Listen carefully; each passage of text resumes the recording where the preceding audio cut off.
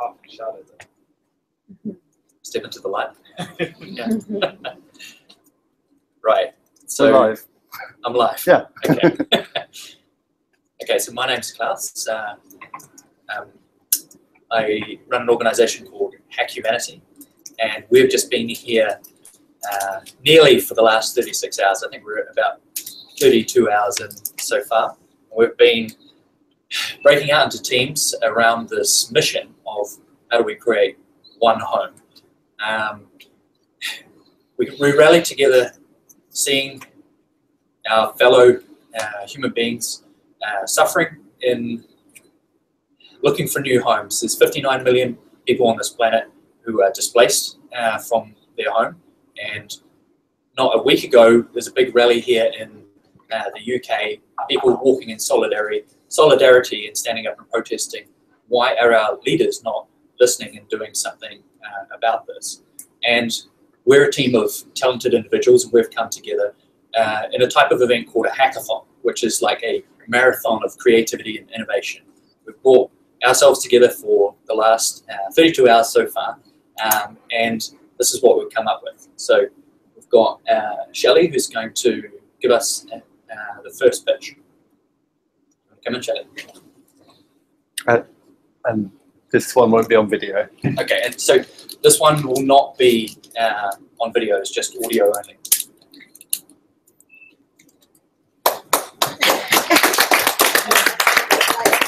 So can you guys stand up? So my name is Shelley Taylor, and we are here to uh, pitch an idea that we came up with a week ago. I got here yesterday and recruited two more members of my team, shall present to you Serene, Francesca, and Ahmed. And I will quickly go through because we have five minutes our idea, which is a refugee aid app. So I don't think we need to really go into what the problem is, but there are, as Klaus said, 59 million people or 69 million people. Like, like, these who are trying to find a new safe place to live.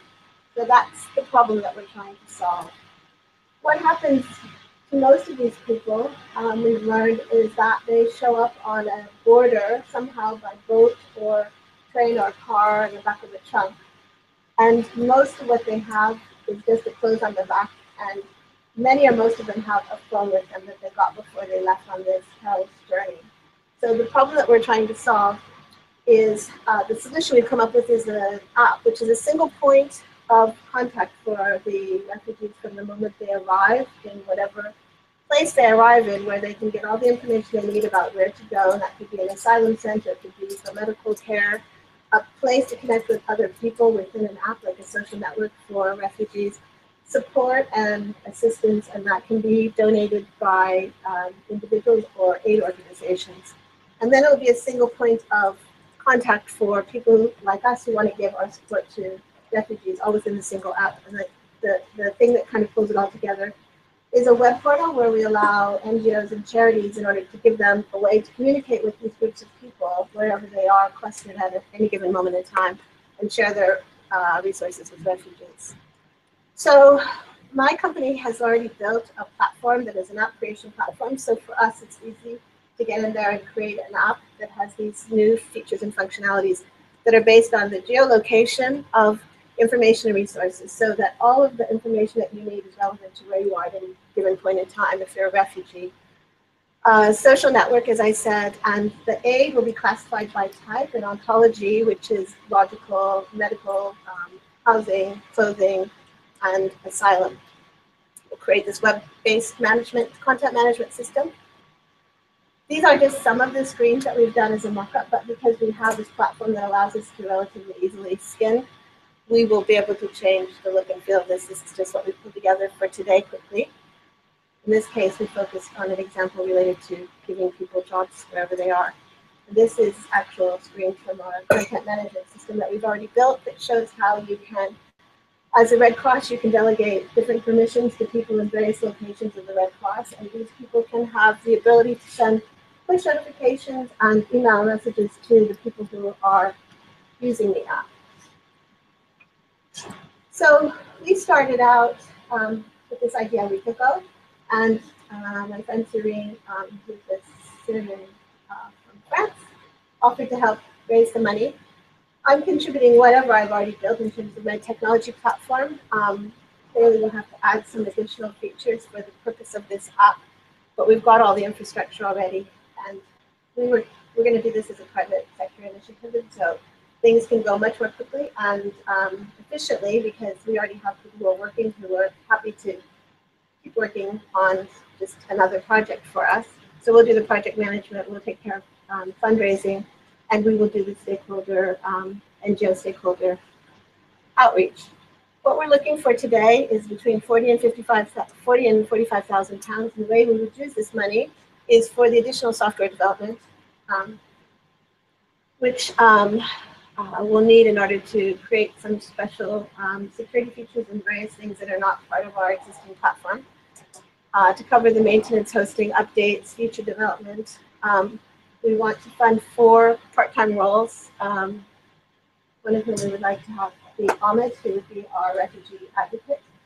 Um, and the things that these people will do is to help build awareness. He would be our helping us with the refugee-facing part, create the links with NGOs, which is something Francesca has experience in in her work, and volunteer management. And Serene will help us with the fundraising. The timing is the first three weeks we want to raise this money through an Indiegogo, through private uh, contributions. It's not a tax, um, no tax benefit because we're not a nonprofit. We're just going to run this amongst our friends and family in order to make this work. We expect that we can get the app out there with both the whole back end and have four partners on board. NGOs, I've already been talking with the Red Cross, the Police Red Cross, and they're very excited about this project.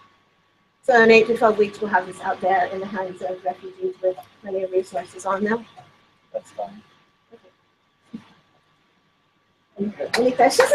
Thank you. Sure.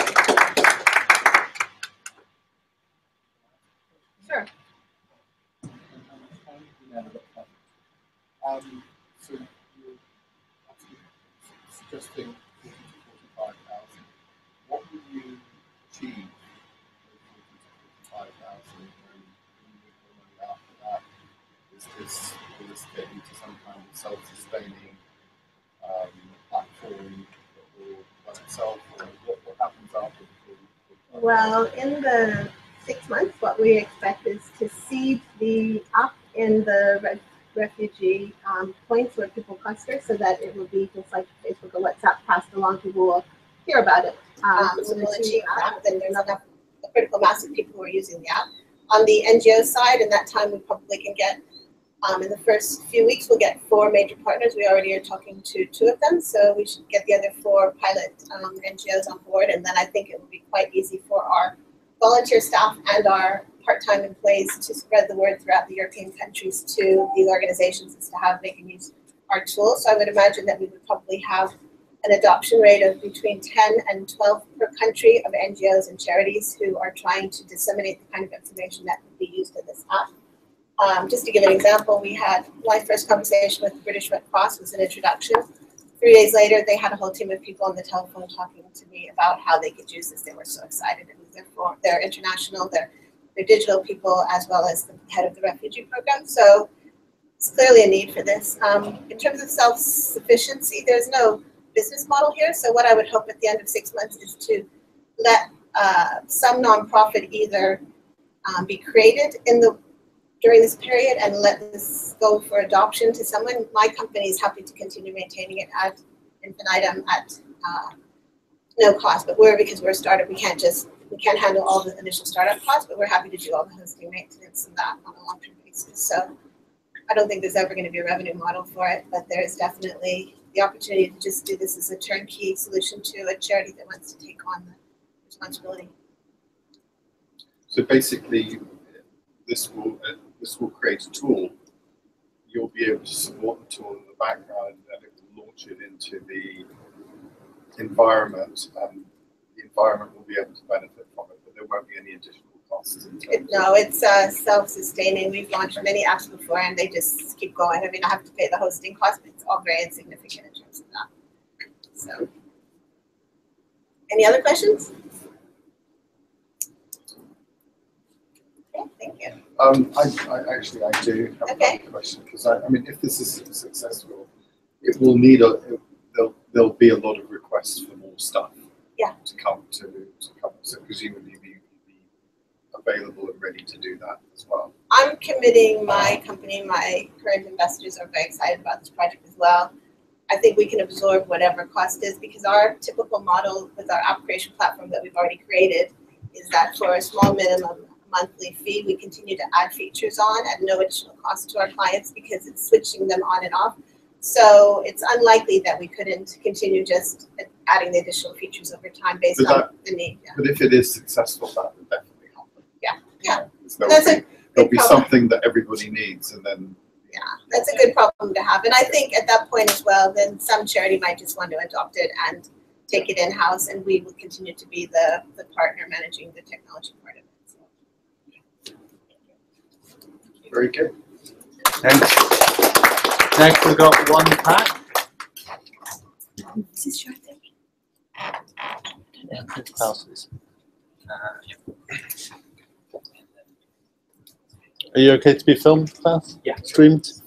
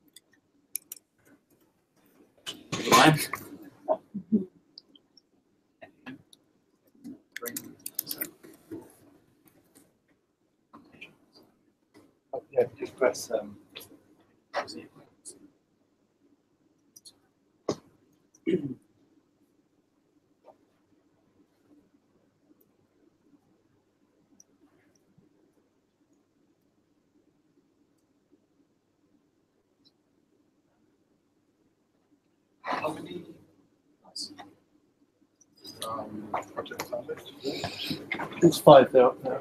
Five. Well, four and a bit. Are you, are you, who's doing story? You gonna say something? Sure. Okay. So I, I hadn't acknowledged. All right, Klaus, go. Your time starts now. We live? Yeah. Okay. Great. so the overall uh, picture here is how do we create one home uh, that works for everybody on this planet? so I want to read out a quote from Buck- Buckminster Fuller, who's an absolute inspiration of mine. Never change things by fighting the existing reality. You change something to change something, build a new model that makes the old model obsolete. It is now highly feasible to take care of everybody on Earth at a higher standard of living than any have ever known. It, is no, it no longer has to be you or me. Selfishness is unnecessary. War is obsolete. It is a matter of converting our high technology from weaponry to living room. So, over this weekend, we've come up with a, uh, a modular and uh, integrated system whereby how do we go about creating one home? And while we're addressing the specific need, which is critical for uh, refugees, we're also working for the whole world about how do we design more efficient systems. We've got a world where we're working towards open collaborative models on uh, digital infrastructure, on physical infrastructure, and uh, social and cultural infrastructure. Uh, we see this with tools like uh, Wikipedia, uh, the common transition of uh, physical properties. so what I'm going to talk about right now is a physical pack, all of the gear that you need to survive and thrive in this wild world. And then we've got other people are going to be talking about the past, and campus, and then the story, the narrative that um, this new story that hangs it all together. So specifically about the pack, yeah, everything you need to survive and thrive in this wild world. so if we look at what's going on um, in the situation for a, uh, a refugee, um, most crucial, crucial item that migrants and refugees carries a smartphone. This is coming up over and over again in the news. Um, beyond being uh, safe physically, you have a need to communicate and organise and work out where you're going next to um, work out what where am I going to get a, uh, a home somewhere which has got good prospects. Uh, every human being wants the right to uh, learn and to live a life where you can be a contribution doing something um, that leverages your talent. Um, so yeah, 59 million human beings are displaced. Um, what is their critical gear? How are they going to live and, live and survive travel? Um, so one of the problems at the moment is we've got a ton of people who are really stepping up and wanting to be a contribution in the world, um, but they're actually stuffing things up because it's not done in a coordinated way. You create more noise in the system. Um, for example, a whole lot of people um, got in self-driving cars and drove to LA with um, all of this clothing, and it's actually not what is needed, and there was no space for it, and it, and it just slowed things down. So let's get uh, coordinated about what gear uh, we put together and give to people. So um, uh, we we had this weekend uh, an actual refugee come and tell his real story, and this is everything he owns. This is gear, his gear uh, on the right. Um, and this is the journey he has moved through from Syria to Turkey, uh, to Greece, to Algeria, to Libya on a boat. Can't quite read the rest of this, this right here, but it's been a, a harrowing journey through lots of different uh, modes of transport and obstacles to get past. I want to step in and uh, mention a framework by Vinay Gupta, uh, who's come up with a model of um, how to prevent this, the most common six ways to die, which are uh, injury, illness, too hot, too cold, uh, hunger, uh, and thirst. And so we want to design a model here um, for what is the gear to mitigate all of these risks. And then beyond, um, beyond um, surviving, we're doing this in a, in a modular, horizontally integrated way for how would all the gear work for an individual, for a small group, and for a, for a mission leader. Um, and we want to do it so it's a collection of new gear and also collect recycled gear and be able to um, pack these together. Yeah, okay. Um, so there's your survival, your basic kind of kit, and this is not rigorously tested of what the gear is right now, but this is the intent that we will do as coming next steps. Uh, and then beyond that, you need to communicate. You need to get set up with a, um, uh, a SIM uh, in your local location as well as a phone. Um, the business model is inspired by um, the one laptop per child um, initiative, which um, was a massive collaborative effort to bring people together to drive the price down to $100 for a laptop worldwide, and also the Tom's model of buy one, give one, where we have somebody who's wealthy buy one, and someone who cannot have one, this one. Um, team looking to speak with these partners.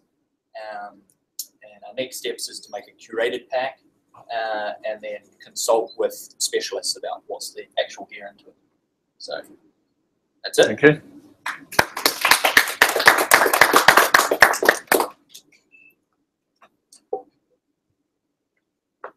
Any questions? Is there an ask? Is there an ask? Yeah, this, this point. Um, it would be introductions to specialists in uh, these organisations.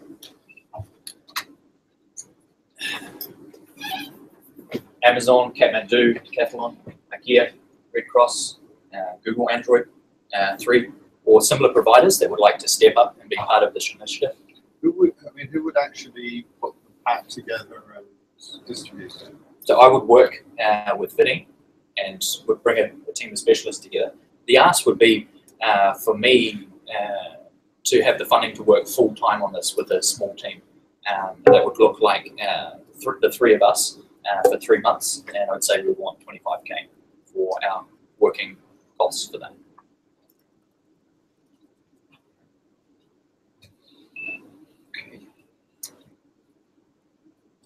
Any other questions? And I think we've seen that volunteers can be mobilized to pack bags and stuff as well. Yeah, that, that's one of the other things we thought about is that actually a lot of the refugees might want to be involved in the effort uh, of assembling this, and this is a way that they could uh, earn a livelihood by being part of this uh, workforce for these, gathering all of the uh, equipment, forming the packs, and then making those distributable. Wow, that's huge. that's, that, that's, that puts it onto a completely different dimension. Because you're actually solving a different part of the. I don't know if that was in your Maslow triangle, but actually giving activity and sustainable activity. That's already uh, that's quite. I think it's quite interesting dimension. Yeah, and then the, the next about one of our later stages uh, components around campus actually is integrated in thinking about um, equipping um, refugees or former refugees with uh, work. So that's coming. Um, my question is, where um, are you thinking of sending these? Um, so at the moment, there's uh, five uh, zones in the world which have 95% of all refugees. So we identify what are the critical sites across this next three-month plan. Uh, we don't have that rigor, rigorous work done right now, but we will work out exactly where to send them. I mean, on, on Sundays, particularly, I think on TV, um, if you're like me, I tend to just sort of collapse on a Sunday and vegetate in front of the TV. Um, and you get people like, uh, you know, famous actors and stuff who are asking for one pound, three pounds. And um, often it's, it's to provide a hat and gloves. I've seen hat and gloves for kids and the, you know going through the winter. So so some of this must already exist as well.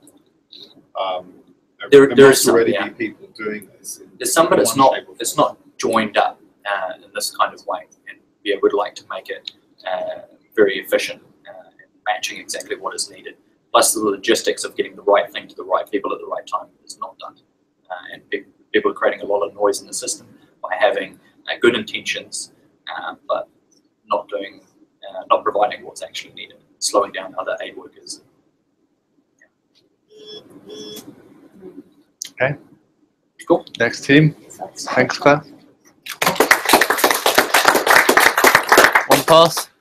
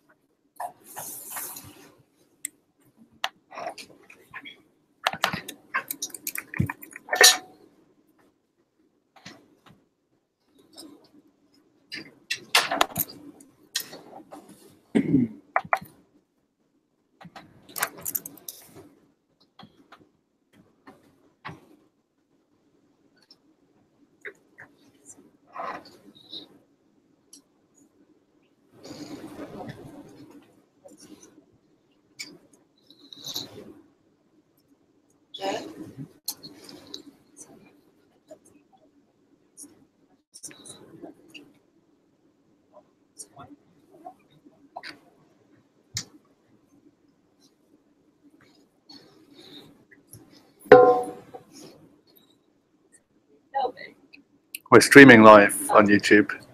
Are you okay with that? Streaming live. Maybe I should have got out of pajamas.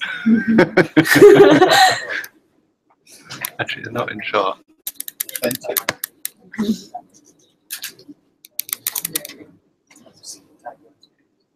Um, yeah, so one pass, this is kind of moving on from the this is my, yeah. moving on from the one pack stage, it's kind of like that's put more on the ground, what's required then.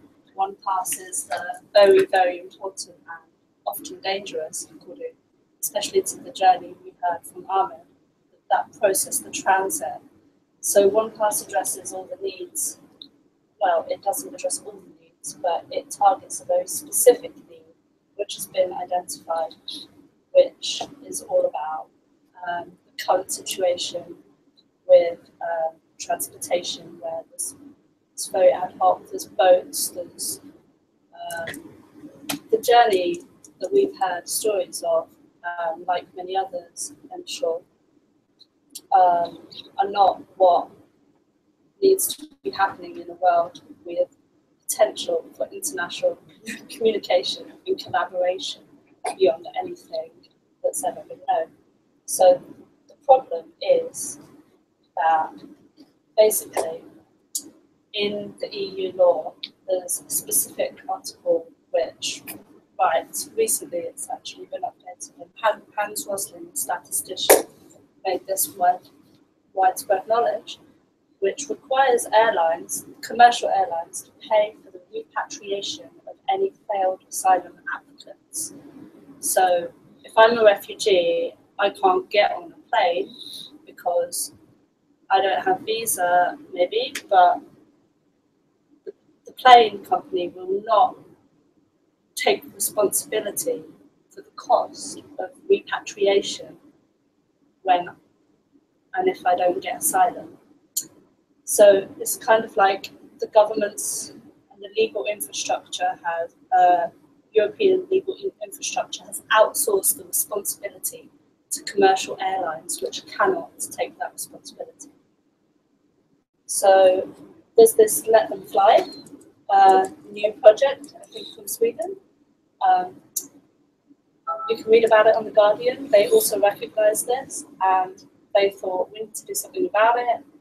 Hashtag let them fly, explore that.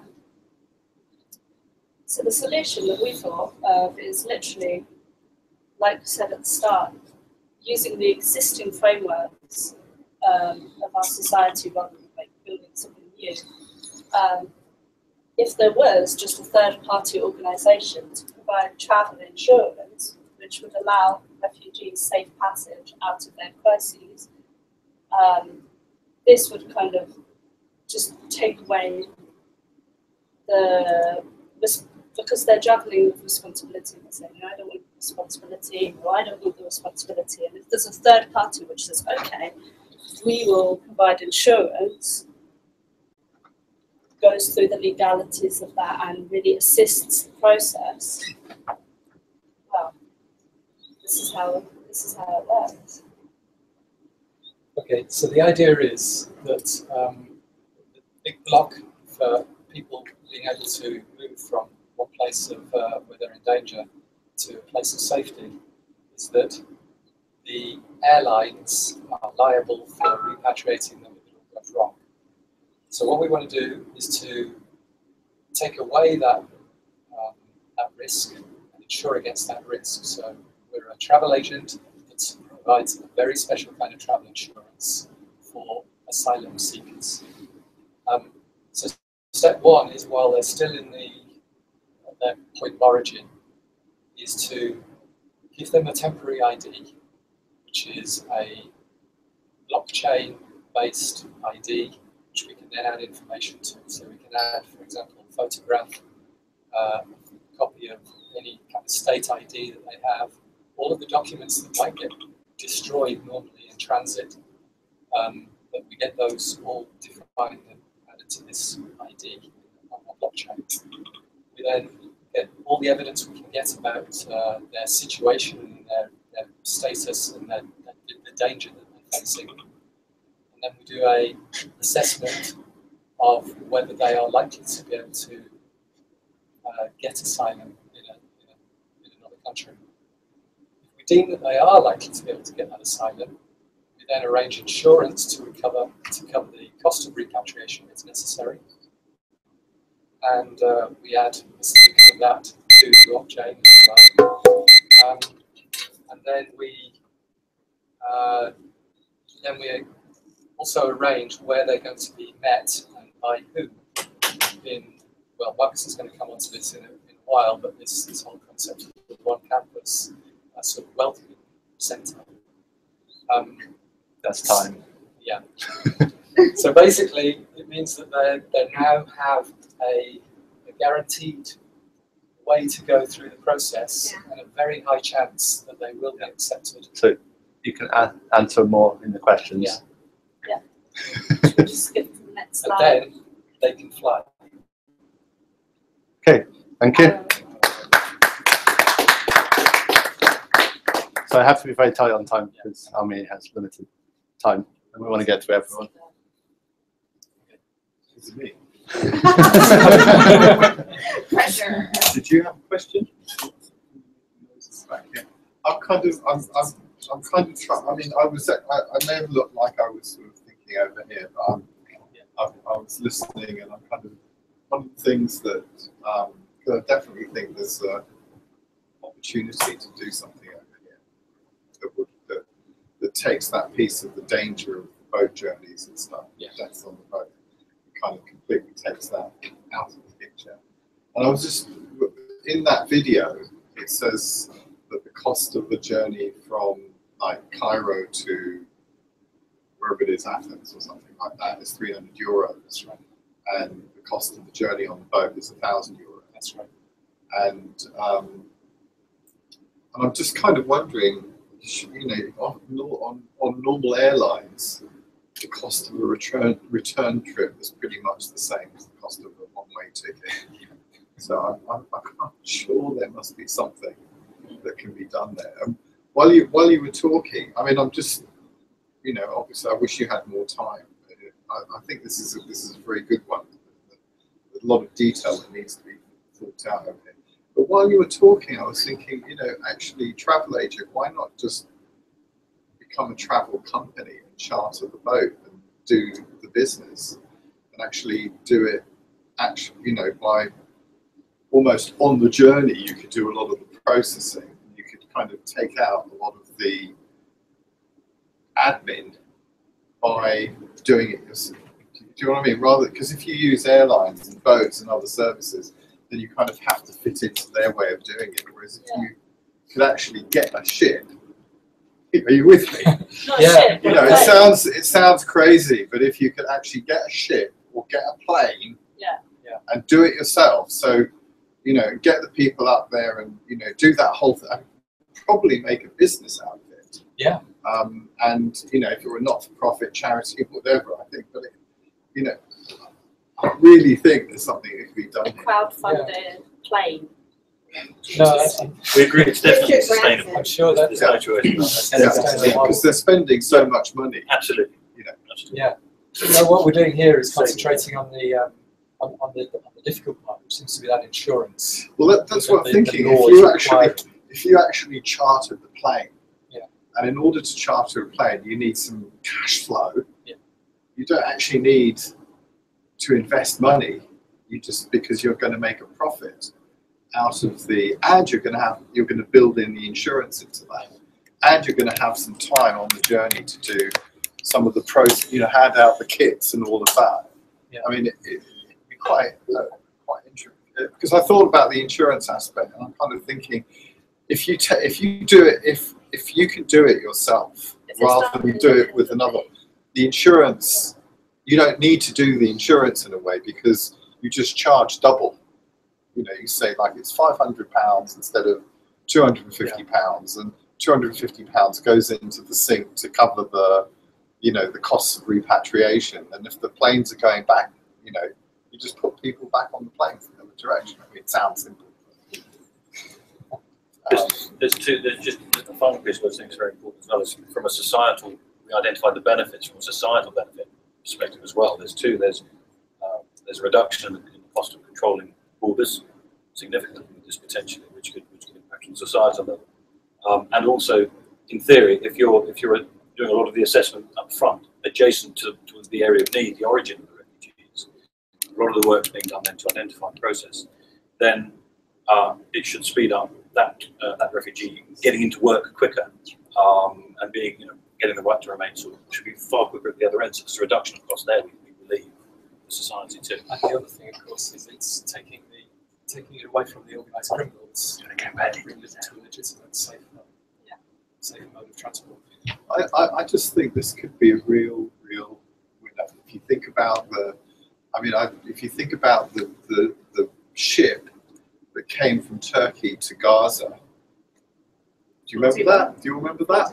In terms of PR, what happened there and everything. So, and, and unfortunately, PR is extremely important to get, you know, the right messages out. I mean, I was just thinking Costa Concordia would be a perfect Yes. first one to go to because they have a lot of bad PR that they have to overcome.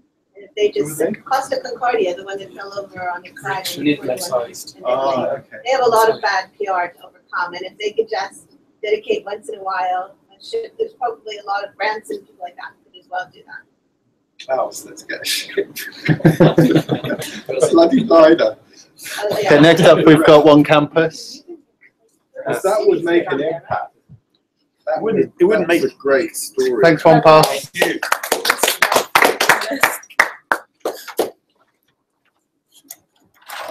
Sorry, I'm using up time. Well, it's, it's meant, yeah, it's your time.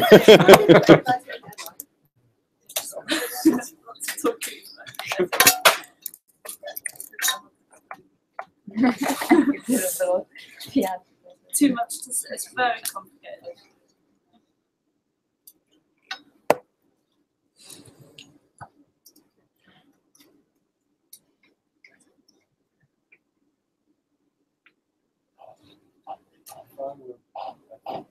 X years.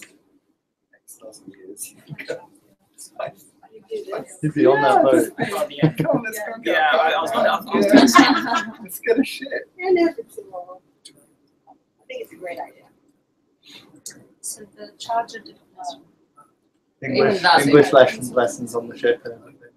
English How's lessons. this work, guys? So much good. good- A ship better than a plane. But Uh, that's it. yeah. We can swim. That's my. We don't need to buy it. With the coast. Yeah. Yeah, I mean, our history is, you know, there's a lot. What, what happened? Clicker. Oh, clicker. I don't know. It's other than. It's in your hand. Oh, the other end. It's just it's the next rubber button. But you don't want to do that. You don't want to be smart. I left it up there. You want to. Yeah. Thank you. You want to it properly. And let them You want to, yeah, you want to go, well, you know, Mediterranean cruise, dropping people off, you know, this kind of thing. Persuading people at each port to.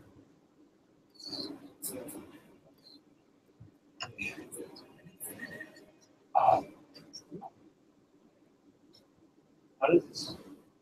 What's, what's the name of that cruise company? Saga or something? Saga. Go to Saga.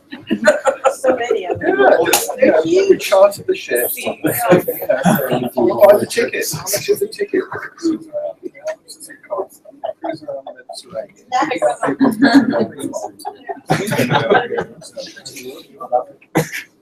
were Okay. trying to stop them at This one can't be done. neighbor there. Okay. Go. I think this could be Right, guys. No, we got Marcus. Okay, Marcus.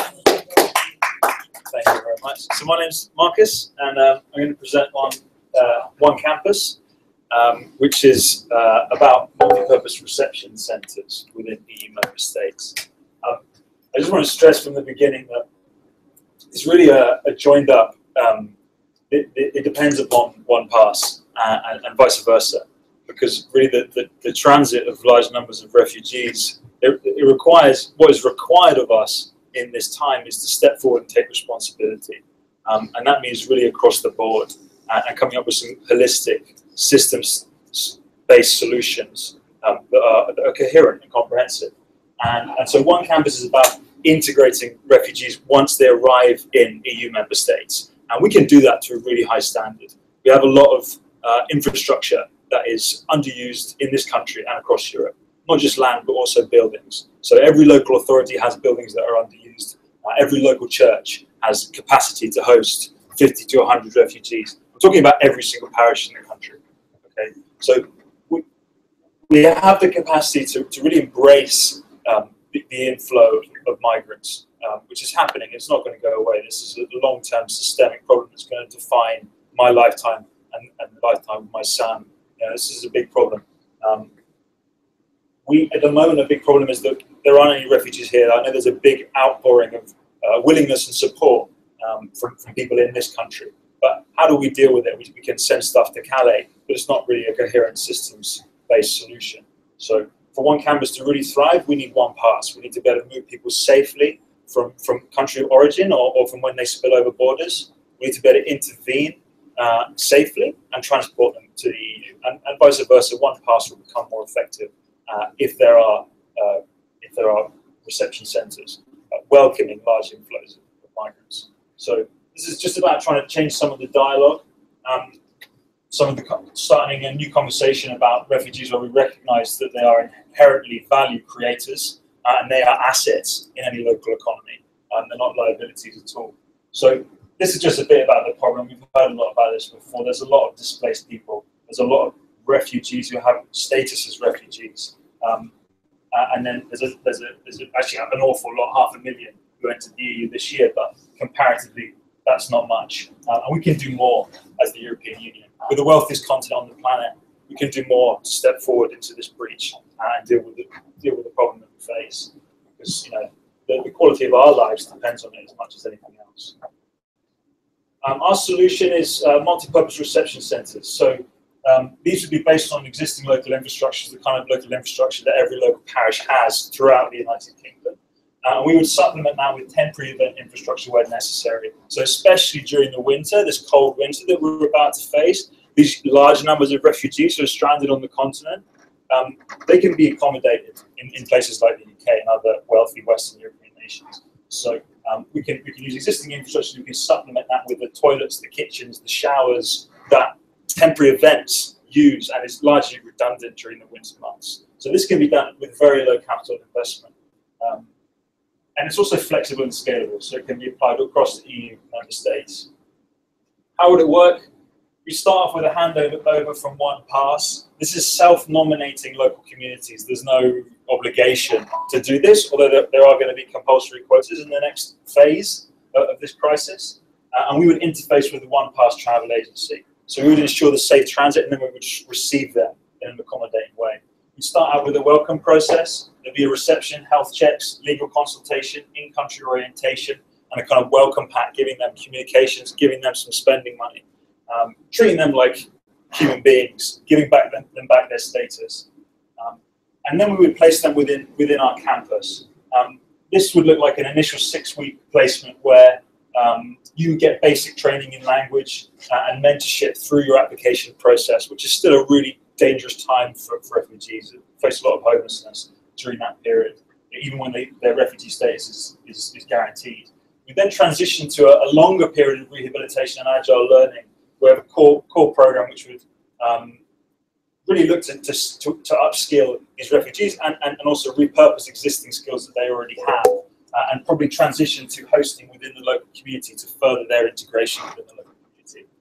Um, we would look at local co-production as a, a, way of uh, subsidizing this model, so engaging with the local authority and local community organizations to employ our undergraduates, our intakes, in the provision of local public services, which are about to be cut by 40% this government in the next next four years, our local service is going to be cut by 40%.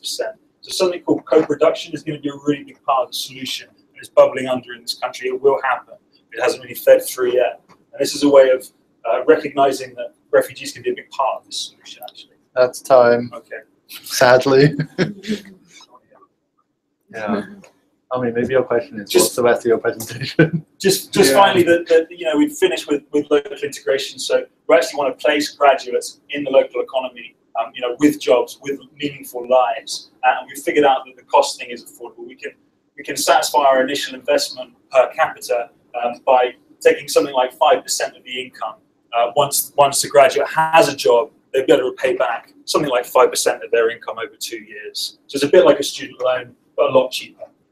Um, and then some milestones in terms of how we do that. I could talk a lot about how we'd actually do this because that's where my background specifically is in how we would design and then deliver these infrastructures. But maybe if there's a question about that, I can, I can talk about it a bit. Thank you. Just so, what's what's the very very next thing that you're going to do? So the, the first step is going to be um, a pilot scheme. We need to get a pilot scheme off the ground. So I actually have um, a very good relations with a, a very uh, innovative local council in Somerset, in Frome. So I know a lot of people in relation to that particular local community. I think we get traction there very quickly. Um, but what we'd need to do is get buy-in from the local council, uh, and then we would move to a, a, design process. So that would look like uh, over a 45-day period, we would run probably on alternate weekends insight sessions to map local stakeholders and understand their needs. Uh, and, and then we would probably do a hackathon methodology to really, to really, which is kind of what we've done done this weekend, to really map out what is this, what is this exemplar uh, reception centre going to look like, uh, and finally some capacity building workshop workshops. It's likely we discovered during that design process that we needed to learn some things, we needed to build some capacity. Um, and I, I think uh, we probably need another 45 days to uh, to then set up uh, an exemplar an exemplar site. I, I, I think within 90 days we could be ready to receive our first intake. 90 days from now, we'll be ready to receive our first intake. We talked about 30 or 40. We talked about 30. I think, you know, it's scalable and it, it depends a lot on the local infrastructure. This is not like a, a one model that's going to be applied everywhere. It's going to be something which is very flexible and scalable. We're working with design principles and design methodology. You know, it's, it's something that's very much uh, modular and, and can be adapted to suit the local needs of, of people in place. Is there a financial um, commitment that you're looking forward to do that? And ask. Yeah. Um, oh, we haven't got a slide for it. Yeah, there is. Um, we, we, we've, we've worked out that um, we probably need around about £20,000 to run the design process and another £20,000 to set up the, the, the exemplar campus. So those costs will actually fall by 50% um, the next time we did it. So there's quite a lot of work that um, we wouldn't need to duplicate in, in, in, in the future applications because it's designed to be scaled, this model And open source. and it's all open source, so it can, you know, there can be divergent tracks in terms of what people think is, is going to work best. But I think the first time we do it, we're looking at around about forty thousand pounds to get to the point where we can take in our, our intake. Um, I think at that stage, really, ideally, we'd be looking at local investment. So in the first first phase, we'd be looking for some seed investment, around about forty thousand pounds, and then we would go to local investment because the, the legal model would look like a kind of holding company, uh, maybe the one home uh, set up as an LLP, but then lots of different subsidiary local organisations. Because what we really want to do is empower refugees as stakeholders and also the local actors who are contributing to this model. So they would actually have an economic stakeholding in the project, in the campus. They would be alumni in a, in a most meaningful sense of the, of the word. Good. Thank you. Bernard? Um, You filmed yourself. Story. You did film me up. Yes. So I there is no PowerPoint for this one, um, but one story basically is I would say is the concept about bringing the human back to the story, the human story, and finding a single narrative of how we can articulate, send this message across, and tell the story the best through the refugees lens and kind of why we're doing what we're doing, what drives us, and so it's a whole PR campaign about it and writing, filming videos, articles, and all that goes with that. So that's where one story comes into play, and it's about tying it all together. And um, yeah, we're excited to be doing that. So it's all our voices, Ahmed's voice, and anyone else we can get, and um, that's about it. So there's nothing skilled yet, but um, it's not that technical. So I think it's it's very self-explanatory. So that's where it comes from. Yeah.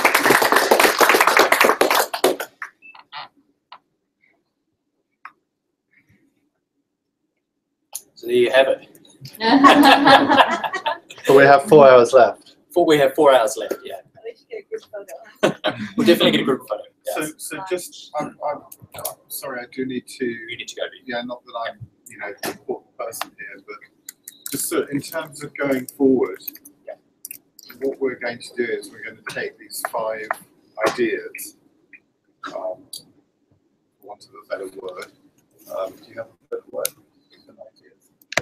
Than ideas or initiatives? Yeah, yeah, initiatives. We're going to um, create a, a sort of environment over here where we'll, a platform where we'll be able to pitch them to people, organizations that will hopefully. Uh,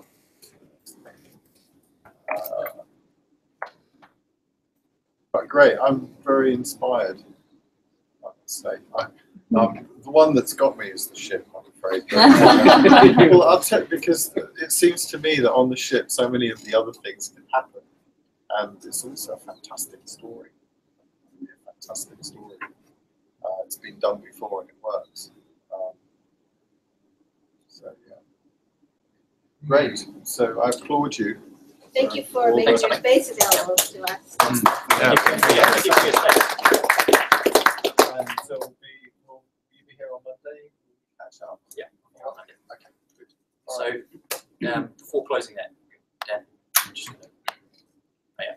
So yeah, firstly, I just want to acknowledge all of you for coming out, getting up early on uh, Saturday morning, being here uh, across the last nearly 36 hours, And um, it takes a special kind of human being to do that. Like you care, and uh, I see that and I acknowledge that. This idea came together literally in a, in a week's time. Uh, we normally put a lot more rigor around the planning of these these hackathons, but uh, we came together and we worked hard and we've um, actually involved a real refugee in the process, which is so rare to actually listen to uh, the needs of uh, somebody in a, in a design and a consultative process like this. And I'm really proud of what we've all accomplished. And I also want to just share that this is part of a series of events we're going to be taking things forwards. And we're already in negotiation with other cities about doing a multi-city uh, version of the of the One Home uh, initiative. So thank you all. Fantastic. Yeah. And thank you, Klaus. Well, For making it happen. Cheers, Dan. Um, and everyone else who helped make it happen. Thank Can I you. ask a question? When are we going to stop talking about slap posts? Not, all not good. we, but just like as a As a species. Uh, don't like- More hacking?